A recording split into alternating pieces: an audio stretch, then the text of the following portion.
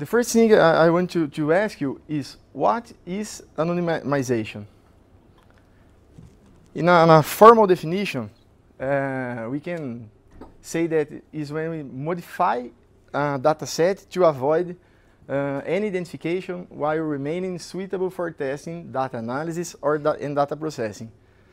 Uh, but here, some people made some mistakes because uh, people think that just replacing fields like name from a table is enough for that, and it, it is not true. We need to do more, uh, more treatment on the data. Uh, some people use views modified uh, when you create a view replacing the, the, the username or the partner name, for example, uh, to obfuscate real data for testing servers. This is quite good. It, it does the work, but uh, for legal purposes, this is not enough. Uh, another kind uh, of anonymization that you can do is a permanent alteration when you do not create a view but do a direct update on your record and we use it for development.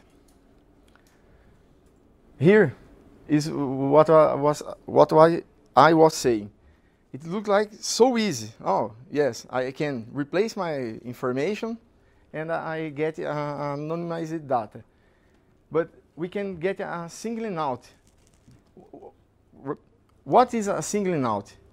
Is when we can look into a data set and we can uh, understand some uh, subject from, from that. And this is really complex. A completely useless data set for me may be uh, really precious for you because we are talking about different uh, business rules. And so it's a, a, work that takes a long time to get in a, a ready production stage. Uh, linkability is another uh, pity that people uh, often fall because um, when you can in intersect two different uh, data sets and you get useful information and you can identify some person. And indirect identifiers. Uh, here, if you don't have my ID number and you don't have my name, but you have my gender, you have my postal code, and you have my date of birth, maybe this can be really important for some companies. Uh, and so we think, need to take care about that. I, I say to, to my teammates that it is a cat and mouse game because every day I discover uh, a new way to, to get people uh, identified from, from a new field of the system. And as iDempiere have a, a really well relational database, this is more challenger. uh, so why I, am talking about that and what this, uh, why we need it. In Brazil recently, uh, the government approved a new law uh, about the general uh, and personal data protection. is based on European uh, GDPR. Uh, it will become valid in Brazil just on next year, but we are was scared. Now we uh, already find some ways to to do the right thing. Uh, the, the, most important case that we have about that is one of our customers that manages more than 700,000 collection contracts from a bank. So we have a lot of personal data that is strictly confidential. Uh, so the, the, first step that when we, uh, we was reading the, the LGPD is, okay, we need to remove the all the personal data, all the links, and all the ways to identify some person from our database, mainly on development environment, in our case. Uh, so, I, in the past, I already had some scripts to, to shuffle uh, some records on database. But when I, I faced this challenge, uh, I started to study some, some more about the subject, and I discovered some common strategies on the database world. Uh, this applies not only to Postgres, but on data modeling in general. The sampling, I, I will talk just a little about it, uh, each one. Uh, this will be available after the conference, but the sampling uh, is not about obfuscation or anonymization. You pick up just a part of your data set to work, but uh, it implements uh, the data minimization from GPD and GPDR. Uh, it's like when you do a select from CB partner, uh, passing a parameter and using table sample feature from Postgres. Uh, when you need to keep referential integrity, it's better you take a look into PG sample, P PG sample. Suppression. Uh, this is useless for testing because you have a completely broken data set. Uh, it's basically when you suppress the data. Update CB partner setting name to null. This is, if you have a constraint not null, your data will be completely broken. Random substitution. Uh, when you use some function like MD5 uh, and create a random text, this don't break constraint, but you have a completely crazy data set. You look in, uh, what is this? Uh, adding noise. Of course, this will only work for dates and numeric. You don't have how to, to add some noise to a text. Um, here we created a, a, a, random instruction to increase or decrease in 30% uh, credit limit from a B partner. Encryption, following the, the same idea, uh, as you can see, each strategy will have some good points and bad points. And the, the deal here, I, I will finish to, to talk about then, and I, I will talk about the, the, the deal. Shuffling, uh, shuffling in our case is one of uh, I most use because don't break foreign keys and you get a completely uh, mixed data set that you can uh, put for your developers to work and you have no problems with loss. Faking, you need to write complex function and partial suppression. Uh, here is my, my phone. When you do a partial suppression, you get something like this string.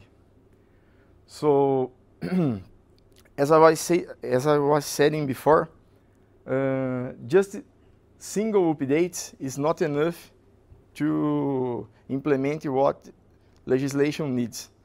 We need to do a mix of all these techniques and identify, identifying the different columns on database to get a, a, data set that makes sense for your purpose, even for development, for CI, for analysis, um, and that implements what the GPDR and LGPD needs. Uh, for the same data set, to do that, you might need to use different strategies. Uh, that's what we do in DevCoffee. It's really, really complex. The, the, the, most difficult part is to do a, a, mapping from all our database and say, ah, this column I will shuffle. This column I will just uh, encryptograph. By this way. So, as a developer, when I look and understand all the things that I said to you, uh, my, my first idea is I, I, will write a script. I can do that. It's quite easy, and there's no problem on doing it. But when looking on internet, we find several tools writing in Ruby, Jailer, that is Java, Talend, or my first idea, a bash script to do the job. But it takes a long time and is a, a, a long job. Uh, not, it's not what I want. I want to use a common market solution. That's the idea. So I found the Postgres Anonymizer extension. that is our choice. the Postgres Anonymizer extension is a really simple extension that you can write DDL code and you can keep all your definition of uh, anonymization inside your database with commenting, comments instructions. So it's quite simple to, to understand, to maintain, and to teach other persons from your, for, from your team to, to keep the, the, the job. Uh, the, this extension, you can do three different things that is really precious, in my, my opinion. Uh, you can do anonymous dumps, that is, we use it on our solution. We have production environments. From production environments, we uh, have backup environments. From these backup environments, we insert the instruction for anonymize, the data. And from this backup environment, we uh, make available for our developers databases with data shuffled and cryptographic and so on. Uh, another useful feature from Postgres Anonymizer is the in-place anonymization.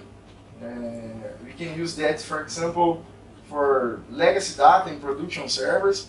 Uh, every I want to uh, change values from customers that don't buy anything on the last five years from, from us. Just to keep it, keep the, the, the information there, but useless, useless data. This is a, a, a good application for that. And the dynamic masking, this is uh, useful for consultants that need to do some analytics uh, on customer database but don't, uh, they cannot have permission to view personal data information. This is done on the fly and don't change the, the data in the data in the tables. uh, here is a simple example uh, of how we can declare the masking rules.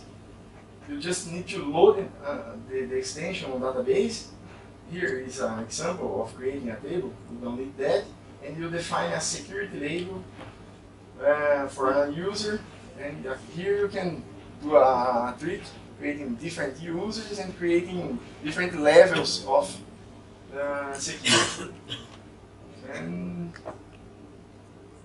the, the, main points, as I said, uh, is that using DDL for for keeping this security. Um, and it's quite easy uh, for for people that already use uh, Postgres instructions. There is no no uh, no challenges challenges other than defining which you uh, want to do. Um, one limit that we face is just 9.9.6 version the newest, uh, and we can use just only one schema with this extension. But I think this will be solved fast today because the, the, the repository is very active. It's a French company that uh, is maintaining this extension.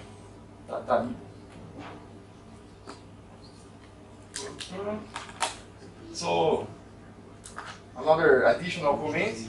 Uh, when I try to do uh, this replacing with um, scripts and using Java code or something like that, uh, the result uh, was so slow then compared uh, with the PG Anonymizer solution. it's, uh, in, in, a few minutes I have already to develop an environment uh, instead of other solutions. Uh, for our user case, that is a development environment, and here is what the extension creator said, and I think that it fits into our community too. That free software must lead the way to build a future where privacy and anonymity are available to everyone.